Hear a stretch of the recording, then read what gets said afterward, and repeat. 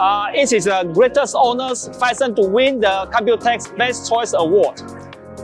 Phison, we invest a lot into R&D. This award is a big uh, represent Phison in the R&D activities.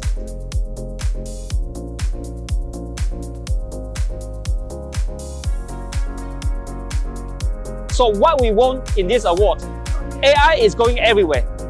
AI, what the most of our population today is using cloud. Using cloud, there have some challenge about your fee and your privacy. But Phison invention is we bring the AI to the edge the on premise with a much affordable price. The invention was we're taking the flash memory to build as a cache systems, bring into the GPU card with one single GPU card, you can start to run your inference, to run your uh, fine-tuning with your workstation, with your PC, and with your servers. This invention can bring the AI going to popular to every single human. AI is a trend. Everyone need to use AI.